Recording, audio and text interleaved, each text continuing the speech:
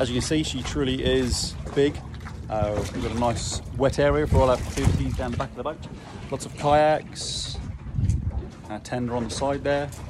A couple of paddle boards just above our heads here out of the way and lots of fishing rods as well actually. Uh, that's our fireplace, really quite unique in the evenings. Coming through the boat, you can see she's really quite spacious. Yes, we do have a pool table and can also be reversed so we can play table tennis as well, which uh, I don't know many boats that can do that. Uh, if you're musically minded, we have a small piano and a couple of guitars as well. Uh, most people like to get stuck into the activities, but also we have plenty of comfy seats just for reading a book and taking in the lovely sea air. Uh, just walking upstairs, I'll show you a few of the cabins.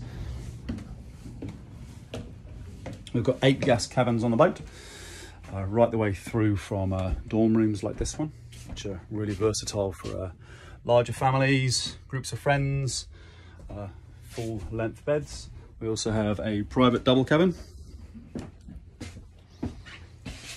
Nice and spacious, particularly for a boat. Even has another bunk on top just in case it's a family with uh, one kid or just two mates want to share it and coming through.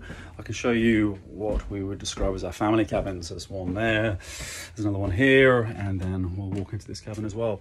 Uh, hopefully you see it from that angle. So you can see again there's a, a double bed with a bunk above it plus we have another bunk here.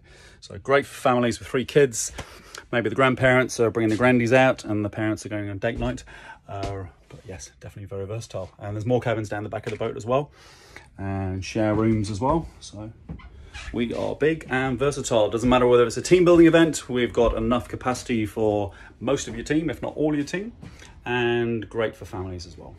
Take care.